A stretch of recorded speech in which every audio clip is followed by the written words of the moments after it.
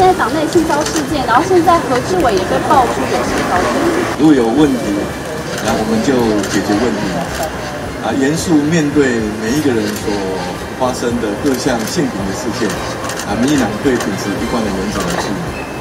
但高嘉瑜说，现在没有爆出来的性骚案还有一百倍。这部分他可能要清楚说明。